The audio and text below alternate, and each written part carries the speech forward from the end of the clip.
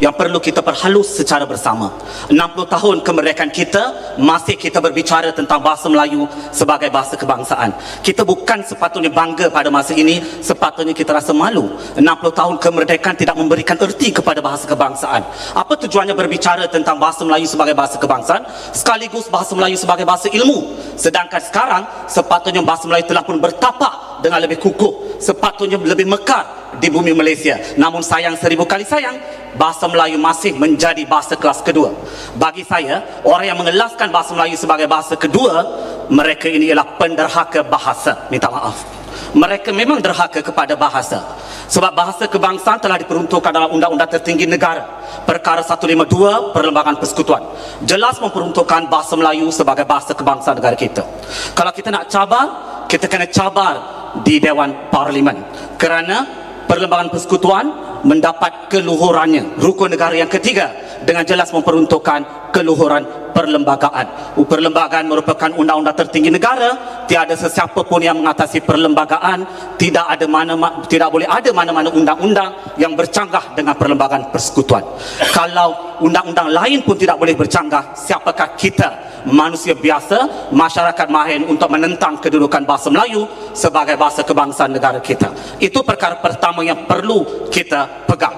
Kedudukan bahasa Melayu diperkukuh dengan kewujudan Akta Bahasa Kebangsaan Akta tahun 1963 garis palang 67. Dalam akta ini kedudukan bahasa Melayu diangkat martabat dan darjatnya untuk menjadikan bahasa Melayu ini bahasa kebangsaan dan juga digunakan dalam semua urusan rasmi. Section 2 jelas menunjukkan bahawa bahasa Melayu perlu digunakan dalam semua urusan rasmi dan kita sedar di Malaysia pada hari ini bahasa Melayu masih lagi tidak digunakan dalam segala urusan rasmi. Kita bangga apabila mesyuarat dikendalikan dalam bahasa Inggeris. Ya, kita bangga apabila kita berbicara kita menggunakan bahasa Inggeris. Dan paling teruk masyarakat Malaysia ya minta maaf ya saya tak nak berlapik saya tak nak berkias. Biar kita berpijak di bumi yang nyata. Di mana di mana bumi dipijak di situlah langit dijunjung tak payah berkias tak payah berlapik sebab kita bercakap secara telus dan terbuka biar semua orang tahu apa masalah utama kita kita yang paling teruk kita bercakap kita merancukan bahasa berlaku kerancuan bahasa yang ketara maksud rancu ialah campur aduk bahasa yang tidak seharusnya berlaku. Yang paling teruk perkataan bahasa Inggeris ya, ya menerima imbuhan bahasa Melayu. Ya kita cuba linkkan, kita cuba konekkan dari mana datangnya ilmu bahasa ini. Inilah pendusta-pendusta bahasa. Inilah penderaka-penderaka bahasa yang kita telah lahirkan dalam sistem pendidikan kebangsaan kita selama 60 tahun kemerdekaan. Mana erti kemerdekaan? Ini satu bentuk penjajahan penjajahan dalam bentuk pemikiran yang akan merosakkan anak bangsa dan warisan negara. Sebab kita telah melalui satu proses yang cukup baik, proses yang mendidik kita supaya memartabatkan dan mendaulatkan bahasa Melayu. Namun kita bayangkan anak-anak bangsa yang lahir pada masa ini, mereka tidak langsung boleh-boleh berbahasa Melayu dengan baik. Kita yang rasa mereka ini baik sebenarnya. Saya merupakan pemeriksa ujian bertulis bahasa Melayu bagi Fakulti Undang-Undang setiap tahun. Jarang sekali pelajar mendapat markah penuh dalam penulisan bahasa Melayu. Kerana kesalahan tata bahasa ketara, penggunaan bahasa istilah-istilah bahasa Melayu, perkataan-perkataan bahasa Melayu rata-ratanya terjemah langsung daripada bahasa Inggeris. Ya, influence jadi influensi, jurisdiction jadi jurisdiksi, ya, participation jadi partisipasi. Kalau semua boleh terjemah begitu, nation kena jadi nasi. Tapi tak jadi pun nation sebagai nasi. Maknanya ada perkataan yang tak boleh kita ubah tapi kita ubah ini yang berlaku sebab masalah bahasa Melayu ini ialah masalah jati diri kita. Kita tidak berbincang bahasa Melayu ini sebagai satu bahasa, satu alat, satu medium, satu wadah, satu wahana. Tapi kita berbicara bahasa Melayu ini sebagai satu alat jati diri anak bangsa. Kalau kita nak menyatukan bangsa, kita menggunakan bahasa sebagai alat perpaduan. Saya daripada sekolah kebangsaan. Saya orang Felda. Saya fasih berbahasa Melayu kerana bahasa Melayu adalah bahasa kebangsaan saya. Di rumah, saya menggunakan bahasa ibunda bahasa Tamil. Di rumah saya menggunakan bahasa Tamil, anak-anak saya fasih berbahasa Melayu. Bagi saya ini paling penting. Kalau kita bangga, kita boleh bercakap bahasa Inggeris dengan baik, kita sepatutnya malu dan hina kerana tak boleh bercakap bahasa Melayu dengan baik. Minta maaf. Kita yang bangga anak saya boleh bercakap bahasa Inggeris dengan baik. Bangga, ya. Bolehkah bercakap bahasa Melayu dengan baik? Jika tidak, sepatutnya buang negara bagi saya. Minta maaf. So bahasa Melayu bahasa kebangsaan. Orang Malaysia sepatutnya boleh bertutur bahasa Melayu dengan baik. Kalau tak boleh bertutur, sepatutnya saya kalau saya yang ada kuasa, saya bagi tempoh 6 bulan. Cuba fasih berbahasa Melayu. Tak boleh, buang negara. Mudah. Kita nak orang yang ada jati diri kebangsaan supaya negara ini dibangunkan ya. Kita bangunkan negara ini dengan asas kebangsaan ada jati dirinya. Salah satu aspek yang paling penting dalam jati diri ialah bahasa kebangsaan. Kembali kepada persoalan yang dibangkitkan tentang bahasa Melayu sebagai bahasa ilmu dalam bidang perundangan. Sebenarnya isu ini tidak timbul dalam konteks undang-undang ya kita kena ingat.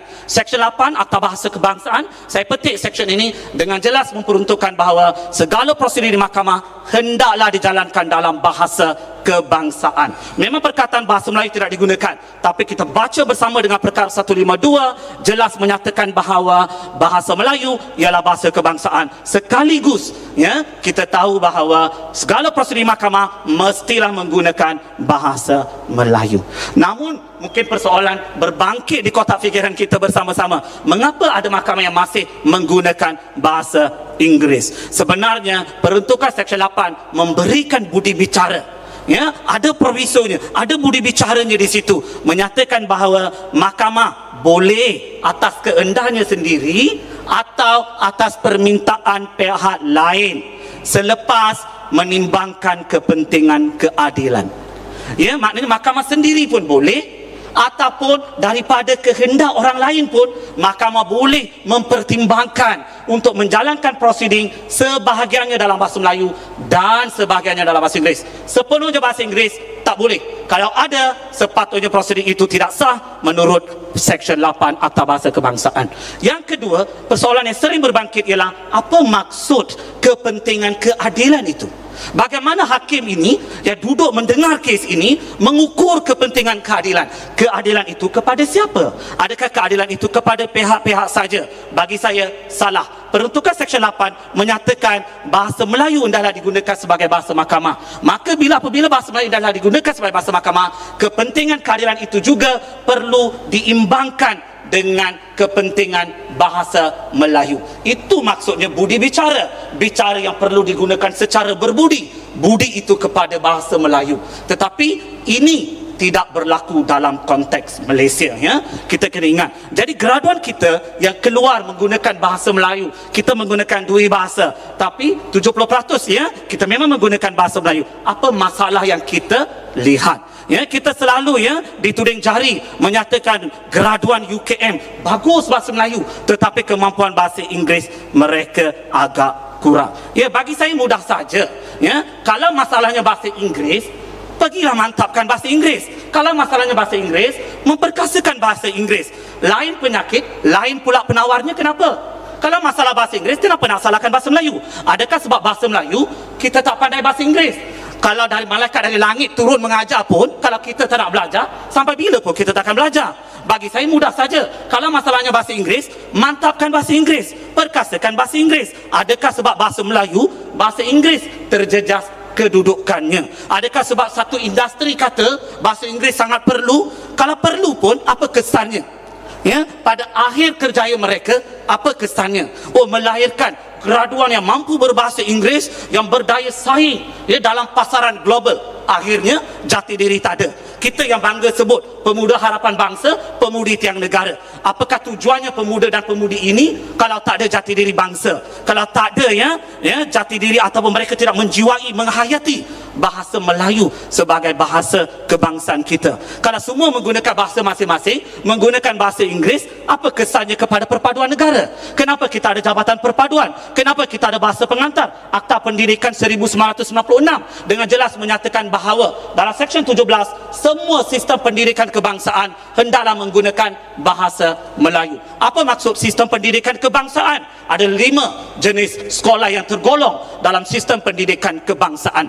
Pertama, pendidikan prasekolah. Kedua, pendidikan rendah. Ketiga, pendidikan menengah. Keempat, pendidikan lepas menengah. Dan kelima, pendidikan tinggi termasuklah universiti awam. Maka semua pendidikan pendidik sistem pendidikan ini hendaklah menggunakan bahasa Melayu. Begitu juga dengan institusi pendidikan tinggi swasta. Ada Akta Institusi Pendidikan Tinggi Swasta 1996 dalam seksyen 41 memperuntukkan bahawa IPTS juga hendaklah menggunakan bahasa Melayu sebagai bahasa pengantar. Namun kedua-dua undang-undang ini memberikan budi bicara kepada menteri ya ada peruntukan menyatakan kecuali dengan kebenaran menteri. Persoalannya apakah kriteria yang diambil kira oleh menteri dalam memberikan pengecualian kepada universiti atau pendidikan tinggi ini untuk menjalankan pengajian dalam bahasa Inggeris. Kita lihat ada beberapa universiti awam yang menggunakan bahasa Inggeris sepenuhnya di mana punca kuasa untuk menggunakan bahasa Inggeris sepenuhnya.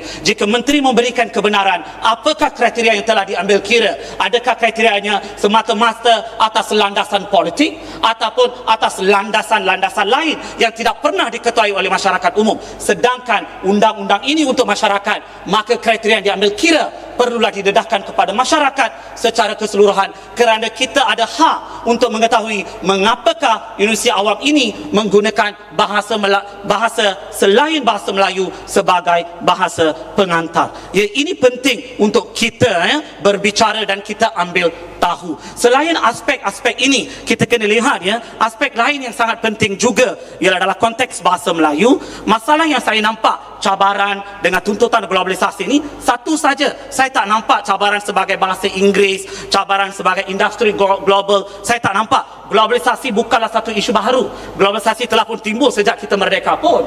Jadi kenapa baru globalisasi ini menjadi isu? Ya, isu yang kita kata IR4 dan sebagainya. Isu ini telah pun timbul lama. Cuma sekarang dijenamakan semula, diperkemas semula, dicantikkan semula dengan nama-nama baru. Hanya untuk memberikan suatu konsep yang dah di mata masyarakat. Bagi saya semua konsep ini telah lama ada. Satu saja cabaran kita, cabaran jati diri. Masalah kita cabaran jati diri je.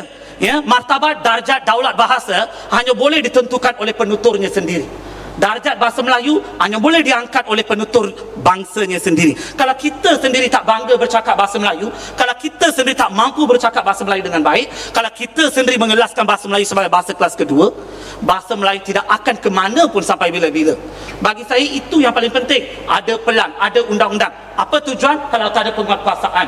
Orang yang sentiasa kata kita kena perkasa bahasa Inggeris. Perkasalah bahasa Inggeris. Memartabatkan memartabatkan bahasa Melayu bukanlah bermakna kita pinggirkan bahasa Inggeris. Martabatkan bahasa Melayu maknanya kita berikan juga tumpuan kepada pemerkasaan bahasa Inggeris. Namun pemerkasaan bahasa Inggeris tidak boleh sama sekali menjejaskan kedudukan bahasa Melayu sebagai bahasa ilmu atau bahasa Melayu sebagai bahasa kebangsaan. Masalah kita ialah kita ambil jalan pintas. Kita sendiri tak mampu nak bercakap bahasa Melayu, jadi kita buat satu dasar, kononnya kita nak menaikkan penarafan. Kita nak memastikan penerbitan kita bertaraf dunia, bertaraf antarabangsa. Akhirnya, apa kita dapat? Akhirnya Ramalingam terkenal di seluruh dunia sebagai pensyarah bahasa Melayu, sebagai pensyarah undang-undang dalam bidang undang-undang keterangan. Terkenal di seluruh dunia. Tapi masyarakat Malaysia, siapa ramah pun orang tak kenal. Hidup segan mati tak mahu melukut di tepi gantang. Apa tujuannya saya sebagai rakyat Malaysia? Kalau ilmu saya tak sampai pun kepada masyarakat saya, orang antarabangsa panggil saya bagi anugerah bagi itu bagi ini, akhirnya mati saya ditanam juga dekat bumi Malaysia bukan ditanam dekat Eropah ke dekat negara lain. Ya ini masalah kita. Kita boleh kejar tapi pastikan kita berpijak di dunia nyata. Jangan akhirnya dikejar pun tak dapat dikendong pun kita berceceran bagi saya betul penarafan ini penting saya tak nafikan. Kita mestilah ada penarafan. Tetapi penarafan itu juga boleh dalam bentuk acuan kebangsaan. Apa masalah dia acuan kebangsaan itu masih boleh dikekalkan ya. Tera kebangsaan itu kena ada. Kita kekalkan dan kita jadikan universiti ini bertaraf antarabangsa. Boleh sebenarnya tak ada masalah. Kita juga menerbit dalam bahasa Inggeris. Tapi penerbitan bahasa Inggeris kita tidak pernah menjejaskan penulisan atau penyelidikan kita dalam bahasa Melayu. Itu yang kita nak. Suntikkan jati diri ini. Kita kena semaikan semua perkara ini. Sebab sama ada anda sedar ataupun tidak ya tuan-tuan dan puan-puan yang saya hormati anak-anak bangsa sekarang memang tak ada jati diri dua perkara yang mereka tak ada perasaan satu sebagai warga Malaysia mereka tak rasa bangga pun Cubalah tanya mereka. Mereka lah orang pertama yang akan kutuk Malaysia. Memang ada anak muda yang ada jati diri. Berapa peratuskah mereka? Itu sangat penting menyanyikan lagu negara aku pun berdiri tegak tak boleh Ya, ada yang masuk universiti kita minta nyanyi lagu negara aku pun ada yang tak menghafal sampai ke hari ini. Dah masuk universiti pun tak boleh menghafal lagu negara aku. Ini konsep jati diri ni. Ya. Semangat tentang semangat jati diri bangganya ya sebagai rakyat Malaysia tu tak ada. Kedua, tentang bahasa kebangsa lagi tak ada. Cubalah beri pilihan kepada pelajar undang-undang ke, pelajar dalam bidang sains kejuruteraan, anda nak pilih bahasa mana untuk bentang? Anda nak bercakap dalam bahasa mana untuk bentang? Rata-ratanya memilih bahasa Inggeris sebagai medium komunikasi mereka. Ini menunjukkan bahawa mereka ini sebenarnya lebih selesa untuk bercakap dalam bahasa Inggeris. Ini masalah satu, kita tel- kita tidak menyediakan mereka untuk menggunakan bahasa Melayu dengan baik. Ini masalah berakat umbi dari pada keluarga kita melentur buluh biarlah dari rebungnya ya. Hmm. Jadi kita kena melentur buluh tu biar dari rebung. Ajak anak-anak kita ya kita kena ingat kalau anak-anak kita bercakap bahasa Inggeris pun keturunan kita takkan berubah. Saya bercakap macam mana pun macam native speaker ke, macam orang Eropah lebih pandai daripada orang UK pun keturunan saya masih India takkan berubah sampai bila-bila pun. Jadi Berpijaklah di dunia nyata macam saya kata ya, tak payah. Sampai ke hari ini, hidup bahasa Melayu ini, umpama gantung tidak bertali, tarik pun tak sampai ke langit, lepas pun tak sampai ke bumi, terkapai-kapai di awang-awangan. Kononnya nak martabatkan, tapi tak juga martabatkan. Tapi macam nak menghapuskan, perkara 152 masih ada. Jadi apa sebenarnya kita nak buat? Tolak ke sana, tolak ke sini, akhirnya gantung tidak bertali lah. Itu maksudnya tarik pun tak sampai ke langit, lepas pun tak sampai ke bumi, terkapai-kapai. Tak ada orang boleh bantu kecuali kita sebagai rakyat Malaysia yang sebenarnya boleh mengangkat ya martabat, darjat dan sanjungan bahasa Melayu sebagai bahasa kebangsaan sekaligus sebagai bahasa ilmu. Itu saja daripada saya. Assalamualaikum warahmatullahi wabarakatuh. Kali ini video ini kita coba mereaksi sebuah video yang menayangkan seorang profesor muda dari Malaysia yang membicarakan tentang bahasa kenegaraan atau bangsa atau bahasa persatuan dari Malaysia yaitu bahasa Melayu. Di mana bahasa Melayu ini sampai hari ini tidak ada yang berminat untuk bisa melestarikannya atau menggunakannya dalam keseharian. Jangankan dalam keseharian, dalam parlemen, dalam perundang-undangan dan dalam administrasi negara itu pun tidak digunakan. Mereka masih menggunakan bahasa Inggris. Sehingga hal ini menyedihkan karena mereka kehilangan jati diri. Jati diri yang paling nampak di dalam kehidupan kita sehari-hari dalam berbangsa dan bernegara hanya satu yaitu bahasa. Dan jika bahasa ini tidak dikuasai, maka jati diri itu pun hilang. Karena apa? Karena yang tampak ketika kita melakukan percakapan dengan seseorang yang dapat kita tunjukkan kepada orang lain dari negara mana pun adalah mengenai bahasa yang digunakan. Ketika kita tidak bisa menggunakan bahasa kita sendiri yang jelas-jelas tercantum dalam undang-undang kenegaraan, maka otomatis jati diri kita akan jatuh. Nah, akibat jatuhnya harga diri ini ataupun jati diri ini, maka bangsa pun akan hilang.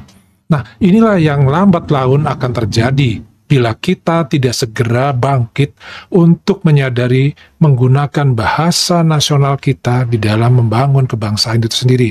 Nah, inilah yang saat ini sedang terjadi di Malaysia, di mana bahasa bukan lagi menunjukkan bangsa. Ya. Karena apa? Karena mereka menggunakan bahasa Inggris. Baik itu dalam tertulis maupun lisan, sementara bahasa kebangsaan mereka adalah bahasa Melayu. Nah, pesan yang uh, ingin Pak sampaikan dalam hal ini adalah mengenai uh, terhadap negara kita sendiri. Bahwa kita sudah patut bersyukur bahwa bahasa negara kita adalah bahasa Indonesia dan sudah tercantum di dalam undang-undang kita. Dan juga di dalam penggunaan dalam pemerintahan, dalam hukum dan ketatanegaraan kita menggunakan bahasa Indonesia. Sehingga dalam komunikasi sehari-hari pun kita mudah menggunakan eh, menggunakan bahasa Indonesia. Namun yang menjadi uh, titik perhatian dari Pade adalah bahasa Indonesia dalam kalangan ataupun generasi muda kita. Bagaimana anak-anak muda kita menggunakan bahasa Indonesia dengan baik dan benar. Ini yang patut kita uh, budayakan kepada generasi-generasi kita. Bagaimana cara kita menggunakan bahasa ini bisa dibudayakan di generasi muda kita? Kembali ke masalah keluarga di dalam lingkungan keluarga inilah pemegang peranan utama untuk bisa mempelajari, mengajarkan kepada anak-anak kita, kepada generasi muda, bahwa pentingnya penggunaan bahasa Indonesia dalam percakapan ataupun dalam uh, komunikasi menggunakan internet dalam kehidupan kita sehari-hari. Contohnya mudah saja. Apakah anak-anak kita, generasi muda kita bisa mengarang suatu cerita pendek dengan menggunakan bahasa Indonesia dengan baik dan benar, penggunaan kosakata, cara penyebutan, ataupun penggunaan tata letak bahasa itu sendiri. Ini yang menjadi tolak ukur bahasa Indonesia dikuasai oleh generasi-generasi berikutnya dari kita. Nah, ini penting sekali karena kalau kita uh, di sini lalai, maka bahasa Indonesia ini pun akan menjadi bahasa yang hanya digunakan dari sisi administrasi negara saja, tanpa bisa dilakukan ataupun digunakan oleh generasi-generasi muda kita yang merupakan tulang punggung negara kita di masa yang depan ketika kita sudah tidak ada lagi. Nah, Bagaimana menurut teman-teman? Silahkan tulis di kolom komentar mengenai bahasa Indonesia yang baik dan benar patut kita ajarkan kepada generasi berikutnya. Terima kasih. Wassalamualaikum warahmatullahi wabarakatuh.